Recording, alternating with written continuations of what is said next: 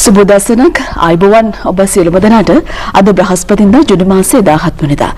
ඇත්තටම මේ ගෙවන කාල පරිච්ඡේදය හිතන්නකෝ ලෝක ඉතිහාසයේ ලියවුනොත් කොයි ආකාරයෙන් උණුසුම් කාල පරිච්ඡේදයක් ඡේදයක් විදිහට ලියවෙවිද කියලා මොකද බොහොම විශේෂ සිදුවීම් විවිධ මාතෘකා ඔස්සේ සිදුවන කාල සීමාවක් තමයි ලෝකයේ තුල මේ ගෙවෙමින් පවතින්නේ. එක් අතකින් වසංගත තත්වයකින් ලෝකයක් පීඩා විඳින විවිධ ආකාරයෙන් ඒ හැරුණකොට භූදේශපාලනික කාරණා අතින් ලෝකයේ තුල බොහෝ විශේෂ සිදුවීම් සිදුවන කාල සීමාවක් තමයි මේ ගෙවියන කාල සීමාව. ඒ නිසා හැම අතකින්ම බොහොම විශේෂයි ඔබ මේ කාල සීමාවේ සජීව සාක්ෂිකරුවන්. ඉතින් ඒ නිසා සිව්දෙස වැඩසටහන ඔස්සේ ඔබේ තොරතුරු විමසා බලන්නයි මේ සූදානම අපේ සූදානම ඒ තොරතුරු විශ්ලේෂණය කර දෙන්නට. ඉතින් අද වෙනුවෙන් සිව්දෙස මැදිරියේ ඉන්නවා ප්‍රවීණ විදේශ විද්‍ය විචාරක මාධ්‍යවේදී විජය දිසානායක. අයිබෝන ඔබට. ඒ වගේම සුබ දැසනක්. ඉතින් දවසේ තොරතුරු පෙළගැස්මත් බලලා අපි තොරතුරු එකින් එක කතා කරමු. ඔව් ඔබ දුටුවා වගේම ලොව බලවතුන් දෙදෙනාගේ හමුවීම මේ දින කිහිපය පුරාවට විදෙස් මාධ්‍යයේ වැඩිම අවධානයක් දිනාගත්තු කාරණාව ඇමරිකානු ජනාධිපතිවරයා සහ රුසියානු ජනාධිපතිවරයා අතර හමුව සිදුවීම. දැන් මේ සිද්ධිය මොන වගේ මුහුණුවරකින් සිදු වුණාද කියන කාරණාව සහ ඔවුන් අතර කතා බහ වුණු කාරණා සම්බන්ධයෙන් වැඩි විස්තර දැනගන්න බොහෝ දෙනෙක් අද දවසේ සිව්දස වැඩසටහන අරඹන්න බලාපොරොත්තු වෙමින් හිටියා. ඔව් සංජයනි ඉතින් මේ අපි දැන් උදේ ඇවිල්ලා බලනකොට මේ විවිධ මූලාශ්‍ර කියන බටහිර ප්‍රධාන ධාරාවේ මූලාශ්‍ර රෂ්‍යාවට උඩේ එහෙම නැත්නම් ආසියාවේ ඒෂියා ටයිම්ස් මේ බලනකොට එක කාරණයක් පැහැදිලි වෙනවා මට මතක් වුණා මේ ওই ලෝක ප්‍රකට ඉතිහාසඥයෙක් ඔහුගේ නම ඊ.එච්. කාර් ඊ.එච්. කාර් කෘතියක් රචනා කළා මේ ඉතිහාසය අනු කුමක්ද කියලා what is history ඔහු තමන්ගේ මේ කෘතියෙන් තමන්ගේ ශිෂ්‍යයන්ට උපදෙස් දෙනවා මේ ඔහු කියනවා මේක ඇත්තටම අපිට ජනමාධ්‍යයට මේ ආදේශ කරන්න පුළුවන් කාරණයක්. ඔහු කියනවා මේ ඉතිහාසය හැදෑරීමේදී වර්තමානයේ සහ අතීතය යනු නිරන්තර ප්‍රතික්‍රියාත්මක ප්‍රවණතාවයකි. ඉතිහාසඥයා සෑම විටම සමකාලීන තත්ත්වයන් ඉතිහාසයට ආරූඪ කරයි. මේ නිසා ඉතිහාසය හැදෑරීමට පෙර ඉතිහාසඥයා හදාරන්න කියලා. ඉතින් ජනමාධ්‍යකරණයේදී අපි ඇත්තටම මේ ඉතා වැදගත් මේ ප්‍රවෘත්ති හැදෑරීමේදී මූලාශ්‍ර පිළිබඳව හැදෑරීම. ඒ කියන්නේ එක් එක් ප්‍රවෘත්ති මූලාශ්‍රය විවිධ කාරණා කරුණු වාර්තා කරන්නේ Tamanගේ අවශ්‍යතාවන්ට අනුකූලව. කියන්නේ CNN එක, BBC එක, Guardian එක ගත්තොත් එහෙම ඔවුන්ගේ දෘෂ්ටි කෝණයකින් තමයි මේ සිදුවීම හමු වාර්තා කරන්නේ. රෂ්‍යා ටුඩේ වෙනම වාර්තා කරනක්. ඉතින් එතකොට මේ බොහෝ දුරට ඉතින් අපිට එතකොට මේ විවිධ තොරතුරු මූලාශ්‍රය කියන තොරතුරු මූලාශ්‍ර කිහිපයක් පරිශීලනය කරන්න වෙනවා යම් කිසි කාරණයක් පිළිබඳව නියම තොරතුරු නියම තොරතුරක් ගන්නට. ඉතින් කොහොම වුණත් ඇමරිකා එක්සත් ජනපදයේ ජනාධිපති ජෝ බයිඩන් සහ රුසියානු ජනාධිපති ව්ලාදිමීර් පූටින් අතර ප්‍රථම හමුව පැය දෙකහමාරක සාකච්ඡාවකින් අනතුරුව අවසන් වුණා ස්විට්සර්ලන්තයේ ජිනීවා නගරයේදී. ඉතින් මේ හමුව මේ හිතුවට වඩා බොහොම කෙටි කාලයක් මේකට ගත වුණා. ඉතින් සාමාන්‍යයෙන් අපේක්ෂා කළා පැය හතරක් පහක් මේ නායක දෙපළ කතා කරයි කියලා. මොකද මේ දෙපාර්ශ්ව අතර තිබෙන සාකච්ඡා මේ අර්බුද ගත්තොත් එහෙම මේ අර්බුද විසඳ ගන්න නම් මම හිතන්නේ මේ අවුරුදු ගාණක් ගත වෙනවා. මොකද මේ නිර්විවිධ සමයේ ලෝකයේ දෘෂ්ටිවාදී මේ කඳවුරු දෙකකට නායකත්වය ලබා දුන් රාජ්‍යයන් දෙකක් 1991 සෝවියට් සංගමය බිඳවැටුණාට පස්සෙත් මේ රටවල් දෙක අතර තවමත් නොවිසඳුණු ගැටලු අනන්තයි අප්‍රමාණයි. කොහොම වුණත් මෙවර නායක හමුවේදී ප්‍රධාන වශයෙන් සාකච්ඡාවට ලක් කෙරුණු මාතෘකා කිහිපයක් තිබෙනවා. එකක් තමයි මේ රුසියාව සිදු කරන බව කියන මේ සයිබර් ඇටැක්ස්. ඔය විශේෂයෙන්ම මේ මෑතකදී මාධ්‍ය කතාබහට ලක් වුණා අර සෝලාවින්ස් හැක් කියන සිද්ධිය. ඒ වගේම මේ යුක්‍රේන අර්බුදය අනෙක් අතට මේ රුසියාව Tamanගේ රටේ රුසියානු පාලන තන්ත්‍රයට එරෙහිව කටයුතු කරන ක්‍රියාකාරීන් සම්බන්ධයෙන් අනුගමනය කරන ක්‍රියාපිළිවෙත. ඉතින් මේ විවිධ අර්බුද පිළිබඳව මේ නායක දෙපළ අතර සාකච්ඡා පැවැත්වුණා. සාමාන්‍යයෙන් ඔය පුටින් තරමක් ප්‍රසිද්ධයිලු ප්‍රමාද වෙලා මේ කිසියම් අවස්ථාවකට සහභාගී වෙන්න. හැබැයි බදාදා පැවති සාකච්ඡාවට පුටින් නියම වේලාවට පැමිණියා.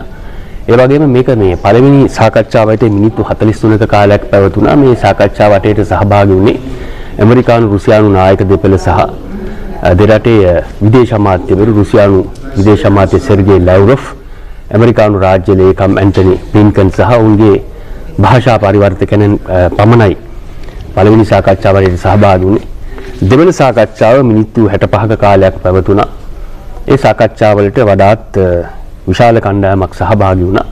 ඉතින් සාකච්ඡාවලින් අනතුරුව මේ නායක දෙපළ වෙන වෙනම ප්‍රවෘත්ති සාකච්ඡා පැවැත්වුවත් මේක වෙනසක් තිබෙනවා මොකද ඇමරිකානු නායකයා රුසියානු මාධ්‍යවේදීන්ට ප්‍රශ්න ඇසීමට අවස්ථාවක් ලබා දුන්නේ නැහැ. ගොඩාක් වෙලාවට වොෂින්ටනයේ ප්‍රවෘත්ති සාකච්ඡා අපිත් සහභාගී වෙලා තිබෙනවා ওই ලංකාවට විවිධ නායකයෝ ආවට පස්සේ ඔය ඇමරිකාවේ John Bolton Richard Armitage Richard Armitage ලංකාවට ආවට පස්සේ මේ ප්‍රශ්න දෙකක් අහන්න අවස්ථාවක් ලැබුණේ අපිට විතරයි මේ රූපහඬ විතරයි.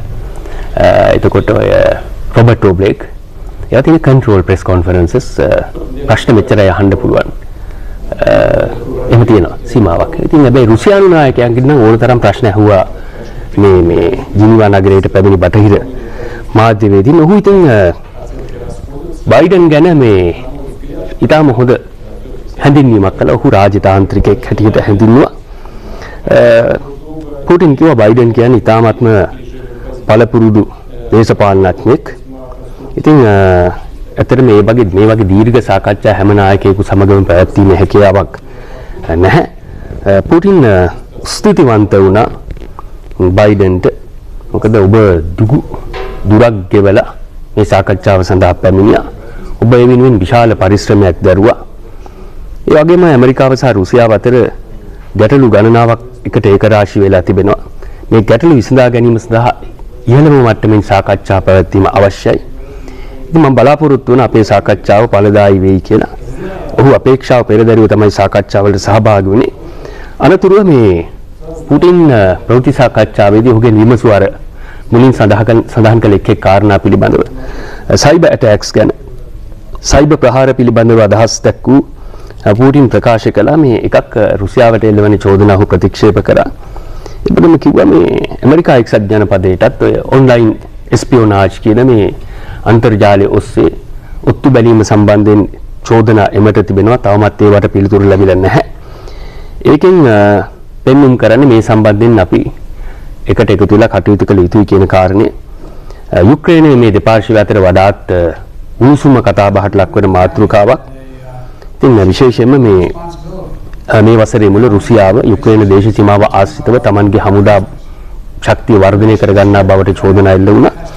හැබැයි පුටින් ප්‍රකාශ කළා ඇමරිකා එක්සත් ජනපදයේ වගේ අපි ලෝකයේ විදේශගතව හමුදා කඳවුරු පවත්වාගෙන යන්නේ නැහැ. විශේෂයෙන්ම අපි ඇමරිකා එක්සත් ජනපදයේ අවට විදමේ වශයෙන් ස්ථානගත වීමේ පුරුද්දක් රුසියාවට නැහැ කියලා. නමුත් අපි දන්නවා ඇමරිකා එක්සත් ජනපදය රුසියාව ආශ්‍රිත විශේෂයෙන්ම මේ බෝල්ටික් මුහුද ආශ්‍රිතව ගත්තොත් එහෙම එස්ටෝනියාව, ලිතුවේනියාව, ලැට්වියාව, ලැට්වියාව මේ කලාපයේ යුදමේ වශයෙන් ස්ථානගත වෙන පමණක් නෙමෙයි. කළු මුහුද ආශ්‍රිතව අනෙක් අතට මධ්‍ය ධර්ණී සාගර කලාපයේ විවිධාකාර යුදාභ්‍යාස සිදු කරනවා. මේ රටවල් දෙකම සිදු කරනවා. අනෙක් අතට මේ CNN මාධ්‍යවේදියෙක් ඇහුවා පූටින්ගෙන් රුසියාව මේ Tamanගේ දේශීය විපක්ෂය මර්ධනය කිරීමට කටයුතු කරනවද කියලා මේ විශේෂයෙන්ම ඇලෙක්සි නවාල්නිගේ සිද්ධිය පිළිබඳව ප්‍රශ්න කළා. ඉතින් ඇත්තටම පූටින් කිව්වා මේ ඔහු දැන් ඔහු මේ දූෂණ විරෝධී ක්‍රියාකරුවෙකු හැටියට තමයි ප්‍රසිද්ධ. නමුත් කිව්වා ඔහුට මේ අධිකරණය ලබා දී තිබූ සමාව ඔහු ඒක උල්ලංඝනය කරලා තිබෙනවා. ඉතින් පුටින්ක මම දන්නවා ඔහු රුසියාවට පැමිණෙනකොටම ඔහු අත්අඩංගුවට ගන්න බව මම දැනගෙන සිටියා කියලා. මේ කොහොමද සමස්තයක් හැටියට ගත්තොත් මේ අපි දකින ජෝ බයිඩන්ගේ විදේශ චාරිකාව යුරෝපයට පැමිණි ප්‍රථම වතාව ඇමරිකා එක්සත් ජනපදයේ නායකයා හැටියට විශේෂයෙන්ම මේ 2017 වසරේ ජනවාරි මාසේ ඔහුගේ පූර්ව ප්‍රාප්තිකයා ඩොනල්ඩ් ට්‍රම්ප් ඇමරිකා එක්සත් ජනපදයේ එතෙක් ලෝකයට ලබා දී තිබූ නායකත්වයෙන් බැහැරවීමෙන් අනතුරුව යලිත් වතාවක් ඇමරිකා එක්සත් ජනපදයට ගෝලීය තලය තුල Tamanගේ බලය ආපසු ලබා ගැනීමේ අවශ්‍යතාවක් බයිඩන්ට පවතින බව ඔහුගේ මේ චාරිකාවෙන් පැහැදිලි වෙනවා. යුරෝපා සංගමේ නායකයන් සමග පැවති සාකච්ඡාවලදී G7 කණ්ඩායම සමග නේටෝව සමග සාකච්ඡාවලදී ඔහු උත්සාහ කළ ඇමරිකා එක්සත් ජනපදයට මේ යලිත් වතාවක් ලෝකයේ බලගතුම රාජ්‍ය හැටියට Tamanගේ බලය තහවුරු කර ගැනීමේ අවශ්‍යතාවක් පවතින බව ඒ වගේම ඔහු මතු කළා මේ ඇමරිකා එක්සත් ජනපදයේ හැම විටම තමන්ගේ ප්‍රතිපත්ති රඳා පවතින නිශ්චිත වටිනාකම් මත කියන කාරණය. ඔහු විශේෂයෙන්ම ඔහු ප්‍රකාශ කළා මේ මානව හිමිකම් සහ ප්‍රජාතන්ත්‍රවාදී වටිනාකම් පිළිබඳ කාරණා. ඉතින් ඇත්තටම මේ සංජීවනී අද යථාර්ථය තමයි බයිඩන් සහ ඔහුගේ කණ්ඩායම පොදුවේ දන්න පිළිගන්න කාරණයක් තමයි අද ලෝකයේ පුරාම සංවර්ධිත සහ සංවර්ධනය වෙමින් පවතින මේ රටවල් අ, දෙකේම මේ ප්‍රජාතන්ත්‍රවාදය කියන කාරණය අද අර්බුදයට ලක් වෙලා තිබෙන්නේ මොකද අපි දකිනවා මේ විශේෂයෙන්ම මේ කොවිඩ්-19 වසංගත තත්ත්වය මිටත් පෙර මේ 2008 වසරේ ඇති වුණු ගෝලීය ආර්ථික අවපාතයේ ප්‍රතිඵලයක් හැටියට ලෝකේ පුරා මේ ආර්ථික අර්බුද වලින් අ, එල්ලවන බලපෑම අ, ජාතිකවාදී අ, කණ්ඩායම් බලයට කරලියට ගැනීමට හේතුවක් බවට පත් වෙනවා. දැන් උදාහරණයකට ගත්තොත් එimhe 1914 18 අ, පළවෙනි ලෝක සංග්‍රාමයේ සහ 1939 45 දෙවන ලෝක සංග්‍රාමයේ අතර තමයි ඔය 1930 ඔය ග්‍රේට් ડિප්‍රෙෂන් කියන මහා අවධමනය කියන ආර්ථික අර්බුදය සිදු වුණේ. මේක ප්‍රතිඵලයක් හැටියට තමයි හිට්ලර්ලා මුසෝලින්ලා වගේ නායකයෝ බලයට ආවේ. දැන් අපි දකිනවා ලෝකේ පුරා මේ බොහොම ජාතිකවාදී කණ්ඩායම් ඩොනල්ඩ් ට්‍රම්ප් අ, බ්‍රසීලයේ ජාවිය බොල්සොනාරෝ ඉන්දියාවේ නරේන්ද්‍ර මෝදි රෙසෙප් තායිප් එර්ඩෝගාන් ඒ වගේ මේ ලෝකේ විවිධ කලාපවල වික්ටෝරියා මේ මේ හංගේරියාවේ වික්ටර් ඕබාන් මේ වගේ කණ්ඩායම් මේ බලයට පැමිණීමේ ප්‍රවණතාවක් තිබෙනවා. අ, කොහොම වුණත් අ, මේ චාරිකාව ඇත්තටම වැදගත්. මොකද මේ මේ රටවල් දෙක අතර විශේෂයෙන්ම මේ අ, මට අමතක වුණු කාරණයක් මේ ඔය අ, අවිපාලනය හා සම්බන්ධව. මේ රටවල් දෙක සතුව තමයි ලෝකයේ මේ වැඩිම න්‍යෂ්ටික අවිප්‍රමාණයක් තිබෙන රටවල් දෙක. ඉතින් මේ නිරායුධකරණය පිළිබඳවත් මේ දෙපාර්ශ්වය අතර සාකච්ඡා ඇති වුණා. අනෙක් අතට ඉතාම වැදගත් කාරණයක් තමයි මේ රටවල් දෙක අතර මේ ගත වුණු අ, මාස කිහිපය තුළ සහ වසර කිහිපය තුළ ඇති වුණු අර්බුද අතර මේ දෙරටේ රාජතාන්ත්‍රිකයන් නිරපා හැරීමේ ප්‍රතිපත්තියක් වුණ අනුගමනය කළා.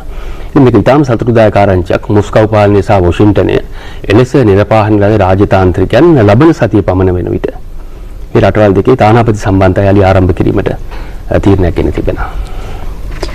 ලෝකයේ බලවතුන් දෙදෙනෙකුගේ හමුවීම විතරක්ම වැදගත්යි ප්‍රවෘත්තමය වශයෙන් කියන කාරණාව ඔබ හිතන්නට පුළුවන්. ඔවුන්ගේ වෙනස් වීම ලෝකයට බලපාන කාරණාවක් බවට පත් වෙනුනත් පුළුවන් නිසා. හේතුව ඒකයි.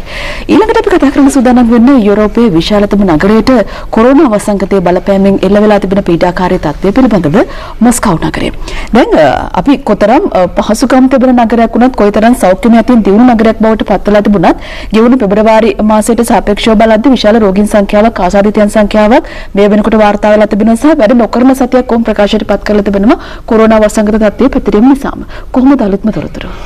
සංජීවන දැන් පළමු කොටම මේ මේ එන්නත් පිළිබඳව දැන් සාමාන්‍ය ජනතාව අතර විශ්වාසයක් තිබෙනවා අර රටේ ඉන්නට හොඳයි. මේ රටේ ඉන්නට හොඳ නෑ මේ ගොඩක් වෙලාට මේවා පිටිපස්සේ වෙන වෙන ව්‍යාපෘති එන්න පුළුවන්. දැන් ස්පුට්නික් V නැත්නම් ස්පුට්නික් 5 කියන එන්නත රුසියාවේ එන්නතක්. දැන් රුසියාව මේ එන්නත ලෝකේට බෙදා හැරියට මේ රුසියාව රුසියාව අගනුවර ආශ්‍රිතව මේ COVID-19 රෝගයේ හිසෙසීමේ අවදානමක් තිබෙනවා. දැන් රුසියාව මේ එන්නත ලබා දීම මේ අ, විශේෂයෙන්ම මේ නිර්දේශ කළා මේ කියන්නේ අනිවාර්ය කළා අ, සෞඛ්‍ය කාර්ය මණ්ඩල වලට. දැන් හැබැයි අර ජනතාවට මුහුණලා කටයුතු කරන නිලධාරීන් මේ මේ මේ සේවකයින්ටත් අ, මේ එන්නත් කරන්නේ අනිවාර්ය කිරීමට රුසියාව තීරණයක් ගෙන තිබෙනවා විශේෂයෙන්ම මේ ඔය ආපන ශාලාවල අනෙක් අතට ප්‍රවාහන සේවාවල සහ කෞතුකාගාරවල මේ ෆ්‍රන්ට් ඩෙස්ක් එකේ ඉන්න පිරිසට මේ එන්නත ලබා දීම අනිවාර්ය කරලා තියෙනවා. මේකට කියන්නේ පබ්ලික් ෆේසිං ඉන්ඩස්ට්‍රීස් කියලා. ජනතාවට මුහුණලා කටයුතු කරන ආයතන. ඉතින් අ, රුසියාවේ මේ බදාදා දිනේ වන විට රුසියාවේ අගනුවර අ, මේ වසංගත රෝගී තත්ත්වය වඩාත් ශීඝ්‍රයෙන් පැතිර යාමේ ප්‍රවණතාවක් ප්‍රවණතාවක් පවතින බව අ, ප්‍රධාන ස්- අ, සෞඛ්‍ය උපදේශක මොස්කව්හි එලිනා ඇන්ඩ්‍රීවා අනතුරු ඇඟවීමක් කළා. ඇය කිව්වා මේ මොස්කව් අගනුවර පොදු ස්ථානවල මේ රෝගීන් අ, ආතුරයන් බවට පත්වන ත රෝගාතුර වුවන් බවට පත්වන පුද්ගලන්ගේ සංඛ්‍යාවේ ඉහළ යාමක් දක්නට ලැබෙනවා කියලා. ඉතින් මේකේ ප්‍රතිඵලයක් හැටියට දැන් අ, තෝරාගත් ව්‍යාපාර සහ සංවිධානවල 60කට වැඩි පිරිසක් එන්නත් කරන්නට ලක් කිරීමට රුසියාව තීරණය කර තිබෙනවා. මෙහිදී විශේෂම ප්‍රවාහන ක්ෂේත්‍රය ආහාර පාන අනෙක් අතට බැංකු අ, ඒ වගේම අ, රූපලාවන්‍ය මධ්‍යස්ථාන නෘත්‍ය ශාලා කෞතුකාගාර අ, සරිය සුවතා මධ්‍යස්ථාන අනෙක් අතට ඔය අන්තර්ජාල පහසුකම් ලබා දෙන ස්ථාන ආශ්‍රිතව අ, දැන් අ, වැඩි පිරිසක් එන්නත් කරනට ලක් කිරීමට මොස්කව් බලධාරීන් කටයුතු කරමින් සිටින අතර අ, සංඛ්‍යාලේඛන වලට අනුව අ, මේ වන විට මොස්කව් පුරවැසියන්ගෙන් සෑම දස දෙනෙකුගෙන්ම එක් අයෙකුවත් අ, මේ එන්නත් වල මාත්‍රා දෙකම ලබාගෙන අවසන්. හැබැයි ගැටලුවක් තිබෙනවා මේ එන්නත පිළිබඳව සැක පළ කරන අය අවිශ්වාසයක් පවතින අය තවමත් එන්නත් පෘතුලව තිබුණත් ලබා ගැනීමේ හැකියාව තිබුණත් එන්නත් ලබා ගැනීම ප්‍රතික්ෂේප කරන බවක් තමයි වාර්තා වන්නේ. ඉතින් ජනාධිපති ව්ලැදිමීර් පූටින් මේ සම්බන්ධයෙන් කිසියම් සහතිකයක් ලබා දුන්නා මේක ඉතා වැදගත්. ඔහු කිව්වා මේ රට පුරා සිදු කළ එන්නත් කරන වැඩපිළිවෙල තුළ එකම එක අතුරු ආබාධයක්වත් මේ එන්නත ලබාගත් පුද්ගලයන් අතර වාර්තා නොවූ බව මේ නිසා බියවීමට කිසිදු හේතුවක් නොමැති බව රුසියානු ජනාධිපතිවරයා අවධාරණය කළා. ඒ අතරම මේ ওই 2020 වසරට අදාළව රුසියාවේ සංඛ්‍යාලේඛන ආයතනය රොසැට් කියන ආයතනය දැන් මේ වන විට මේ වාර්තා පළ කරලා තිබෙනවා. මේ වාර්තාවලට අනුව 2020 වසරේ කොරෝනා වසංගතයෙන් රුසියාවේ මියගිය පුද්ගලයන්ගේ සංඛ්‍යාව పూర్වයෙන් තක්සේරු කළ සංඛ්‍යාවට වඩා 119ක් වැඩි බව තහවුරු වෙලා තිබෙනවා. අපි යළි අවධානය යොමු කරන සූදානම් නේටෝ සමුළුව සම්බන්ධයෙන් බෙල්ජියම් බ්‍රසල්සේ නේටෝ සමාජිකයන් රැස් වුණා. දැන් මේ අවසන් වුණත් වර්තමාන වෙනකොට අපිට කතා කරන්න මාතෘකාවක් සපයන්නේ කුමන කාරණාවද? ඔවුන්ට චීනය යම්කිසි අභියෝගයක් වෙලා තිබුණා කියලා මේ සමුළුවේ ඇති වුණු කතාබහෙන් අපිට පැහැදිලි වුණු කාරණාවක්. අභියෝගාත්මක ප්‍රකාශයන් ඒ සම්බන්ධයෙන් නිකුත් වුණේ. චීනය කිසියම් විදිහකින් මේ වෙනකොට ඊට ප්‍රතිචාර දක්වලා තිබෙනවද? ඔව් ඇත්තටම දැන් මේ නේටෝ සමුළුව පොදුවේ ගත්තොත් මේකේ මේ ප්‍රධාන මාතෘකා තුනක් මේක ඉංග්‍රීසියෙන් කියන 3 C's කියලා. එකක් චයිනා අනිත් එක තමයි සයිබර් ඇටැක්ස් ඊළඟට ක්ලයිමේට් චේන්ජ්. මේ සම්බන්ධයෙන් තමයි මේ සමුළුවේ ප්‍රධාන අවධානය යොමු වුණේ. ඒ වගේම අපි ඊයේ කතා කළා.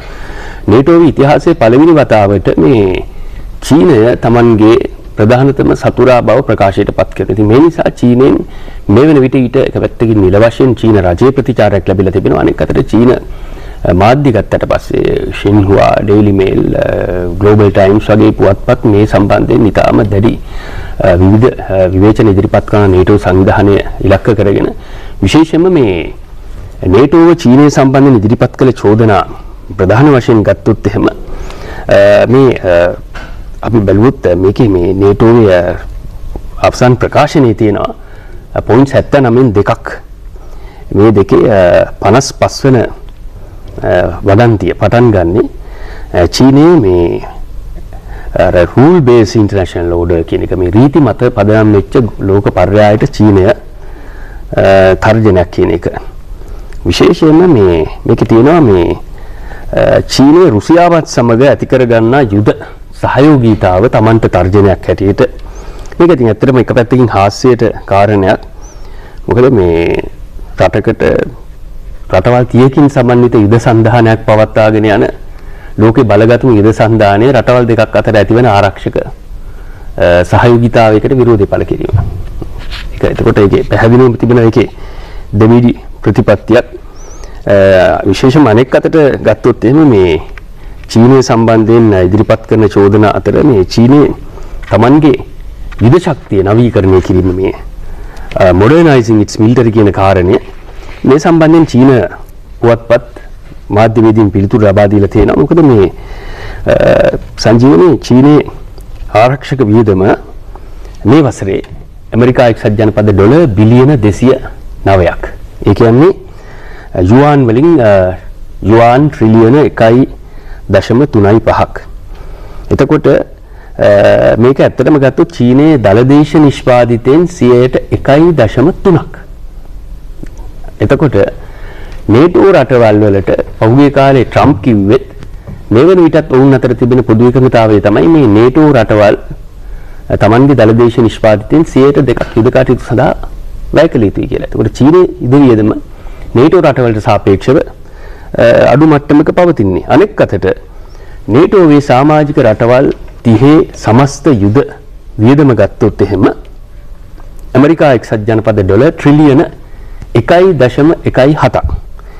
ඒ කියන්නේ ලෝකයේ සමස්ත යුද වියදමින් අඩකට දායකත්වයේ දක්වන්නේ නේටෝව නේටෝව කතා කරනවා මේ චීනයේ යුද වියදම පිළිබඳව අනෙක් අතට දැන් මේ මේ නේටෝ යුද වියදම චීනයේ යුද වියදමට වඩා 5.6 ගුණයකින් විශාලයි. අනෙක් අතට මේ ඇමරිකා එක්සත් ජනපදයේ මේ නේටෝවේ ප්‍රධානම රට සතුව තිබෙන න්‍යෂ්ටික යුද ශීර්ෂ සංඛ්‍යාව ගත්තට පස්සේ චීනයට වඩා සියයට ඒකට 20 ගුණයක් විතර තිබෙනවා මේ න්‍යෂ්ටික යුද ශීර්ෂ. ඉතින් මේ සම්බන්ධයෙන් චයිනා ඩේලි පුවත්පතේ අර මේ අදහස් මතපල කිරීමක් තියෙනවා ඔපිනියන් පීස් එකක් තියෙනවා. මේකේ මේ ඊටාම වැදගත් කාරණයක් මතු කරනවා. ඒ තමයි නේටෝව ලෝකයේ පුරා සමස්ත පොදු ජනතාවගේ යහපතට අභියෝග කරමින් තමන්ගේද සමාජිකයන්ගේ ඇතුළු මේ ගෙන යන ක්‍රියාකාරීත්වය විශේෂයෙන් මේ සඳහා මේ සාධාරණීකරණය කිරීම සඳහා විවිධ ආකාරي තර්ජන හුවා දක්වනවා. හැබැයි බිලියන 2.5ක මුදලක් මේ ලබා ගන්නේ බටහිර බදු ගෙවන්නන්ගේ මුදල් වලින්. මේ නේටෝවේ ක්‍රියාකාරීත්වය නිසා ලෝකයට අහිමි වන වත්කම් ප්‍රමාණය විශාලයි. හැබැයි ඊට වඩා ලෝකයට විශාල ලේවැගිරීමක් නේටෝවේ ක්‍රියාකාරීත්වය නිසා දැරීමට සිදු ඇති බව තමයි මේ චීනේ චයිනා ඩේලි පුවත්පත පෙන්වා දෙන්නේ.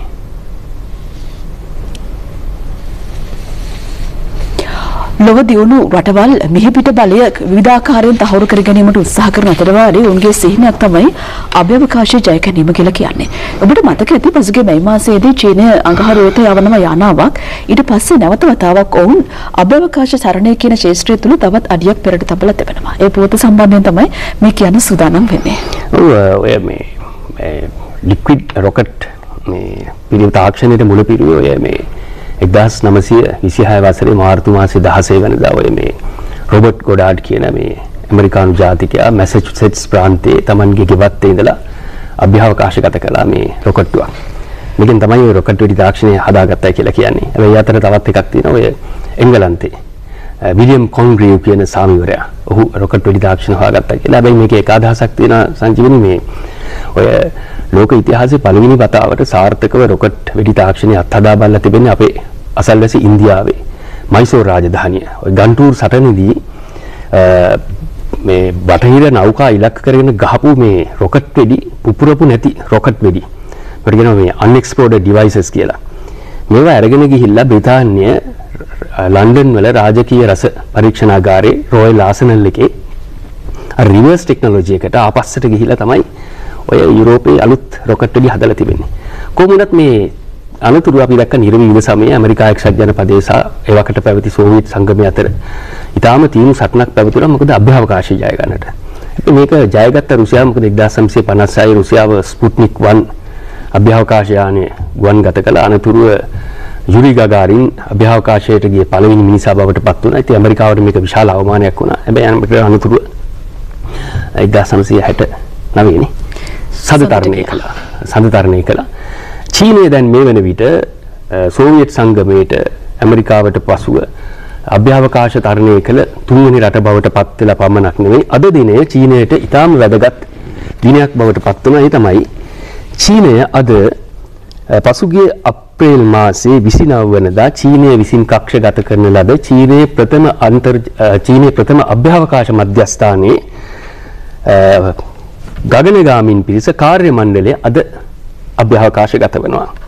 ලෝන් මාච් 2F කියන රොකට්ටුවේ නැගිලා ටියන්ගොන් කියන මේ අභ්‍යවකාශ මධ්‍යස්ථානයට මේ ගගනගාමින් තිදෙනෙකු ගමන් ආරම්භ කරන උන් මාස 3ක කාලයක් එහි රැඳී සිටීමට නියමිත මේක චීනයට ඇත්තටම ආඩම්බරයට කාලයක් මොකද 1949 ඔක්තෝබර් විප්ලවයෙන් පස්සේ චීනය මේ ආපු ගමන් මගේ ඇත්තටම සංවත්සරයේ සමරන්න සූදානම් වන අවස්ථාව වන විට චීනය සූදානම් වනවා. මීට අදාළ විශාල මේ සම්ප්‍රචාරණ ව්‍යාපෘතිකුත් දියත් කරන්නට.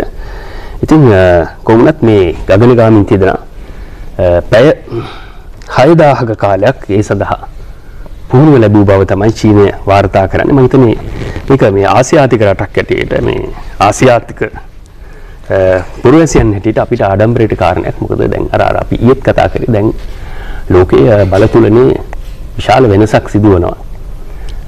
කලක් අපි හිතුවට මොකද මාව් සේතුන් ඔය ඇමරිකාව සඳතරණය කරනකොට කිව්වා මේ අපිට නම් අර්ථාපල් ගෙඩියක්වත් අභ්‍යවකාශයට යවන්න බැහැ කියලා. හැබැයි දැන් චීනය අභ්‍යවකාශ මධ්‍යස්ථානයකුත් හදලා අද ගගනගාමින් පිරිසක් ඒක අරා ගමන ආරම්භ කරනවා. මීළඟට මුළු ලෝකයේම අවධානය දිනාගත්ත කාරණාවක් විදිහට හඳුන්වනවා අපි ක්‍රීඩා සැනකෙළියක් මේක ලෝකයෙන් පැවැත්වෙන ඔලිම්පික්. දැන් මෙවර ඔලිම්පික් වරම් හෙබිවන්නේ ජපානයේට. මීට පෙර ආතුව ඔලිම්පික් තරඟාවලි අ, පැවැත්වීම සම්බන්ධයෙන් කතා බහ කිරීමේදී ඒවා අ, අවලංගු වුණත් කල්දමීමක් සම්බන්ධයෙන් තොරතුරු තිබෙනවාද කියලා සොයා බැලීමක් කරන්න ඕනි. කොහොම වුණත් වෙනදා නොලැබෙන අවධානයක් වැඩි වශයෙන් මෙවර ජපාන ඔලිම්පික් තරඟාවලි ලැබිලා තියෙන්නේ කොරෝනා වසංගතයේ මැද්දේ කල් දමමින් හෝ මේ පවත්වන්නට ඔවුන්ට සිද්ධ වීමත් එක්ක සහ ජපානයේ ජනතාවම ඊට අකමැති වෙලා විරෝධය පළ කිරීමේ අවස්ථාත් අපි දුටුවා. මොනවද අලුත් තොරතුරු මේ කාරණාව සම්බන්ධයෙන් වාර්තා වෙන? ඔය එක පැත්තකින් අ, ජපානයේ රජයේත් වැඩි කැමැත්තක් නැහැ. මිනිස්සුන්ගේ කැමැත්තකුත් නැහැ. ජපානයේ වෛද්‍යවරු 6000ක් එකතු වෙලා පෙස්සමක් යවුවා. ඒකමුත් වැඩක් නැහැ. අ, සුප්‍රකට මේ ලැන්සට් සංගරාවත් කිව්වා මේක අනාරක්ෂිතයි කියලා. හැබැයි ඔලිම්පික් කමිටුව තමයි තීරණය කරන්නේ. ඔලිම්පික් කමිටුව බොහෝ දුරට ගත්තොත් ඔවුන් අ, දේශපාලන තීන්දුව ගන්නවට වඩා ඇත්තටම මේ මේ වැරදිලා හරි ජපානයේ මේක අවලංගු කළොත් ජපානට විශාල මුදලක් අහිමි වෙනවා. ඒ කියන්නේ ගෙවන්න වෙනවා. සිද්ධ වෙනවා. ඉතින් කොහොම වුණත් දැන් අ, ඔලිම්පික් වල පැවැත්වීම නිශ්චිතයි බොහෝ දුරට අපි.